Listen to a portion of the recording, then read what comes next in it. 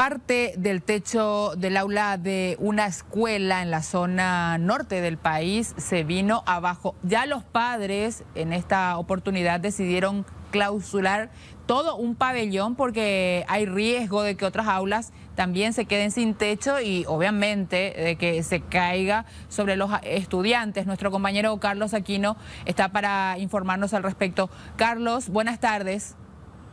Buenas tardes, María Teresa. Exactamente, tuvieron que clausurar las tres aulas de un pabellón de una humilde institución educativa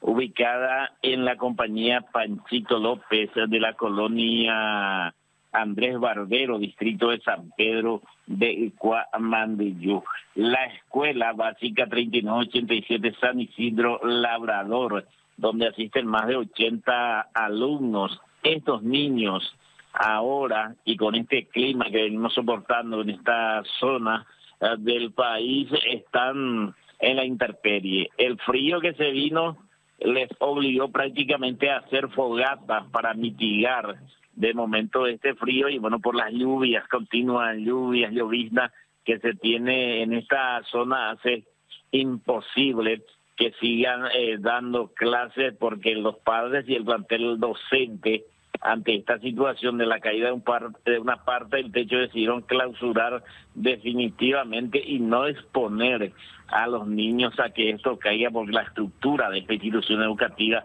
ya cumplió evidentemente su vida útil. Exigen a las autoridades departamentales, ya sea la municipalidad, la gobernación, y otras instituciones que puedan eh, construir un aula. Es más, hay un aula en construcción, pero que quedó a medias. Según los responsables, según los padres de familia, la municipalidad de San Pedro de Pabanillo dejó a media esta construcción. Ahora exige directamente al Ministerio de Educación y Cultura que le provean, aunque sea un aula móvil, para que estos chicos puedan culminar el año escolar y que para el próximo se tenga la nueva construcción de aulas. Hablamos al respecto con Berlis Martínez y también con otra docente de esta institución educativa que nos explica más al respecto. Esa aula ya y pila y mala y pues ti reunión para si por yo pues esa turiza me la ve que bueno la porque ya yo paramos hoy no que ya muy coi yo ya có sa sẽ hay to ya sẽ sẽ mi tại India rồi không bạc thì họ giết pe eh ya ya pa sang yết ya sẽ có sa sẽ là hay to là ona ya tu la la esa ya ma sẽ là ha Aman ako ang alar aulante ko masakir be aulah ho ambo ya mu pero ko ang ho aya tu ya tu oi porque o cabe yo para ha uira kwa ha se la ayer este a las autoridades escuela pela